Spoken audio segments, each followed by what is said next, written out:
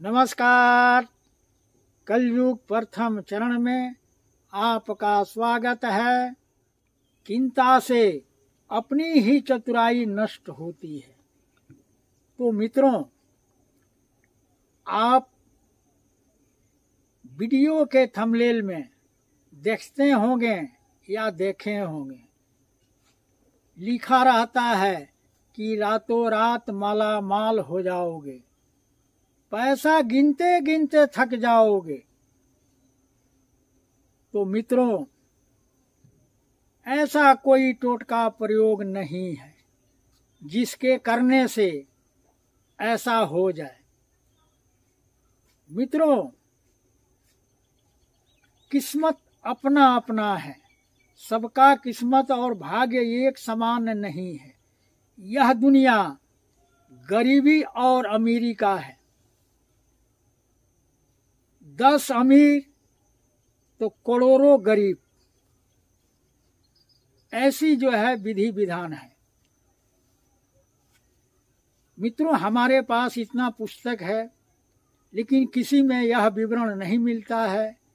मित्रों, कहा गया है कि जहाँ धन रहता है, वहीं धन दौड़ के जाता है।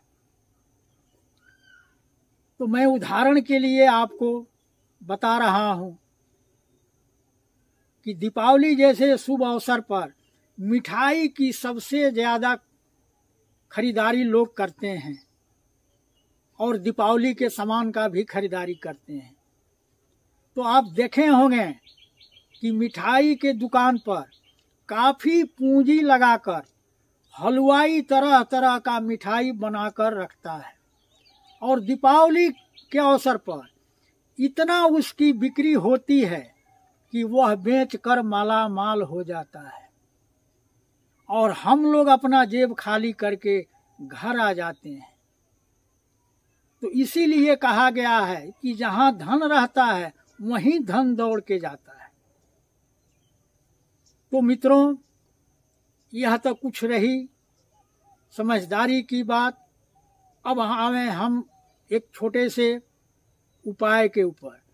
साथियों, आपने कहीं से भी देखकर, सुनकर अगर कोई टोटका प्रयोग सिद्ध किए हैं, कोई पौधे का जड़ हो, या किसी फल हो, या कोई तांत्रिक जड़ी बूटी हो, अगर सिद्ध करके घर में रखे हैं, अगर उससे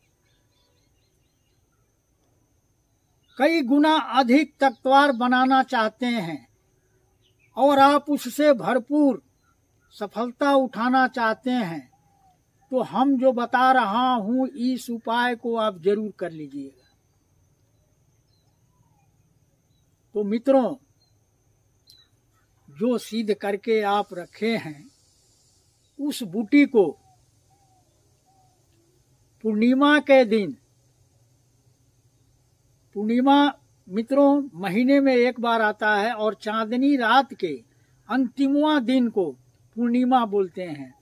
तो मित्रों, पूर्णिमा के दिन, चंद्रमा के अंदर इतनी शक्तियाँ होती है कि इससे बड़े बड़े रोग भी दूर हो जाते हैं और जो कोई वस्तु को तख्तवार बनाना होता है तो चंद्रमा को प्रकाश दिखाया जाता है। ये पहले जमाने में किया जाता था। तो मित्रों, अगर आप भी तख्तवार बनाना चाहते हैं तो पूर्णिमा के रात्रि में अपने छत के ऊपर या जहाँ भी आपका सुविधा हो, यानी कि खुला आसमान दिखाई देता हो, उस बूटी या फल जो भी सिद्ध किए हैं, उसको रात भर के लिए बाहर रख दें। और फिर सुबह उठकर उस चीज़ को घर में लाकर धूप बत्ती दिखाकर फिर जहाँ आप रखते थे या रखना है, उसे रख दें। अब देखें मित्रों, इस विधि से उस बूटी या फल का दस गुना ताकत बढ़ जाएगा। तो मित्रों, यह सब पुराने जमाने में लोग किया करते थे, वो भी राजा महाराजा। उन लोगों के पास मड़ी होती थी तो उस मड़ी को पूर्णिमा में घर से बाहर निकाला जाता था कि वह पावर खींच के और पावरफुल बन जाता था। और ऋषि मुनि भी इसी तरह से सिद्धियों को चंद्रमा के द्वारा प्राप्त करते थे। तो मित्रों, यह एक बेजोड़ उपाय है। आप एक बार करके देखें कि आपका जो जड़ी बूटी काम नहीं करता था, वह तेज़ी से आपका साथ निभाएगा। तो मित्रों, वीडियो के कमेंट बॉक्स में जय श्री राम ज़रूर लिखें।